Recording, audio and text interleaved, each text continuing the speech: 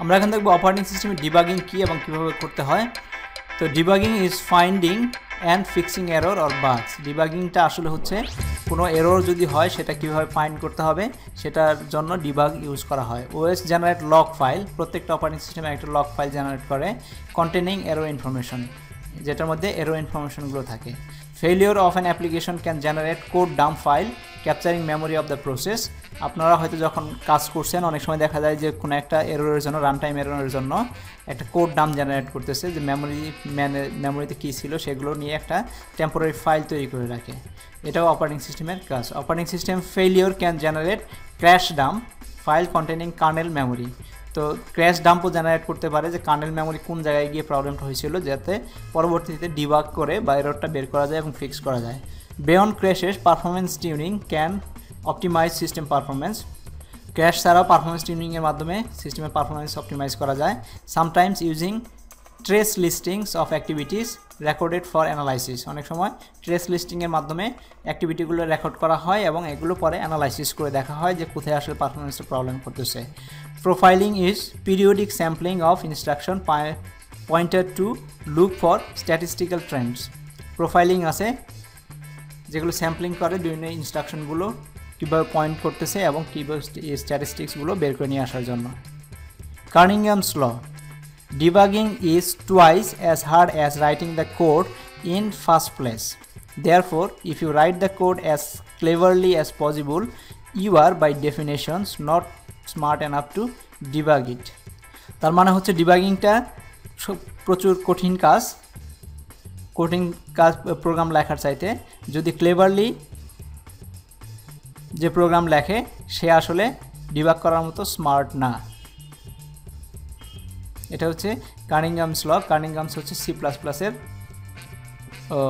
C C এর লেখক বা ইনভেন্টর পারফরমেন্স টিউনিং পারফরমেন্স টিউনিংটা কি? আমরা এখানে একটা উইন্ডোজ টাস্ক ম্যানেজার দেখতে পারতেছি, যেখানে আমরা পারফরমেন্সের একটা উইন্ডো দেখতে পাই। সবাই নিশ্চয়ই আপনারা দেখেছেন এই টাস্ক ম্যানেজারটা তো এখানে আমরা দেখতে পাচ্ছি সিপি ইউটিলাইজেশন তারপরে প্রসেসের যে কোন কত মেমোরি নিয়ে রাখছে সেটা, তারপরে page file usually uses history page file history কী আছে সিপি ইউজের হিস্ট্রি কী আছে, সব জিনিসগুলো এখানে দিয়ে দেওয়া হচ্ছে। টোটাল হ্যান্ডেল কতগুলো আছে, কতগুলো প্রসেস রান করতেছে, তারপর থ্রেড কতগুলো রান করতেছে প্রসেসেস কতগুলো আছে টোটাল ফিজিক্যাল মেমোরি কত অ্যাভেলেবল ফ্রি আছে কত, আর সিস্টেম ক্যাশ কত, এভাবে সব ডিটেল ইনফরমেশন এখানে দেখানো হচ্ছে।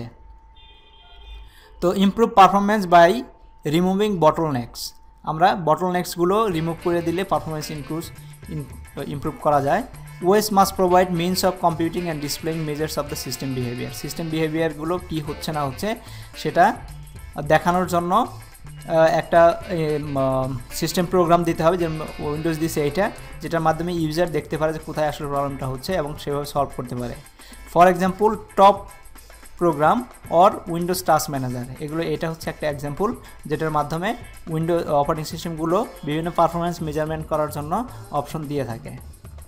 আরেকটা আছে ডিট্রেস ডিট্রেস টুল ইন সোলারিস সোলারিসে আছে ফ্রি বিএসডি আছে Mac OSes allow live instrumentation on production system production সিস্টেমের টোটাল জিনিসটা একবারে দেখা যেতে পারে। সেটার টুলসের নাম হচ্ছে B tree R probes fire when code is executed within a provider computing state data and sending it to the consumer of those probes সেই প্রপসগুলো দিয়ে থাকে।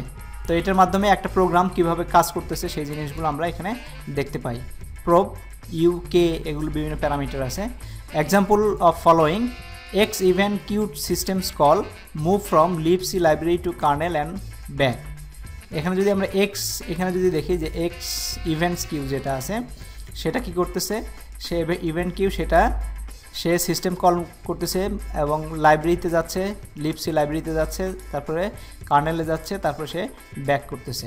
তো এটা টোটাল হাইওয়েটা এখানে দেখানো হচ্ছে যে একটা পার্টিকুলার কাজ করতে কী কী কাজগুলো করা হচ্ছে, সেটা ডি ট্রেসের মাধ্যমে আমরা বের করতে পারি।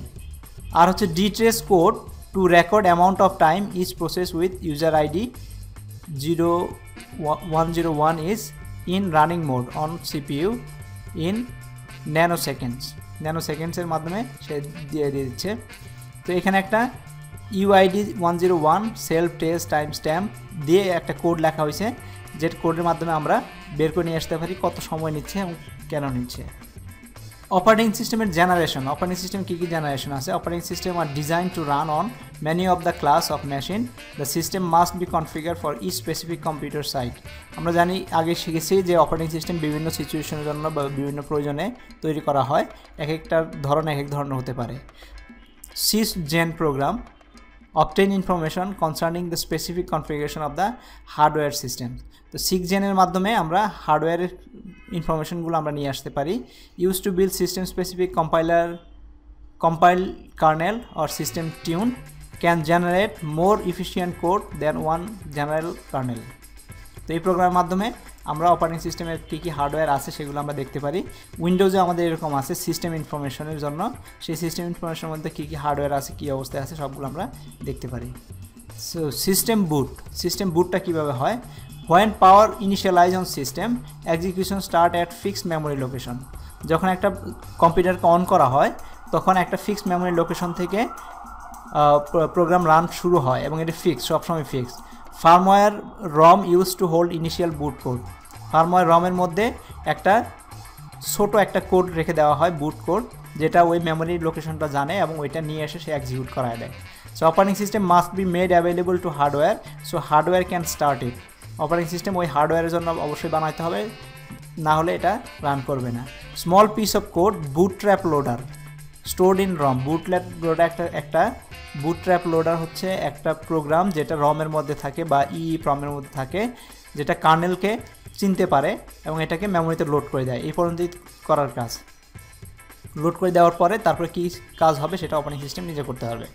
Sometime two step process where boot block fix location loaded by ROM code which load bootstrap loader from disk অনেক সময় হয় যে বুটট্র্যাপ লোডারটা যদি না থাকে, অনেক রম আগেকার দিনের কম্পিউটারগুলো যেটা করতো, সেটা একটা ফিক্সড লোকেশনে একটা ফাইলকে সে রান করাই দিত, তারপরে বুটট্র্যাপ লোডারটা ডিস্ক থেকে নিয়ে আসা হতো।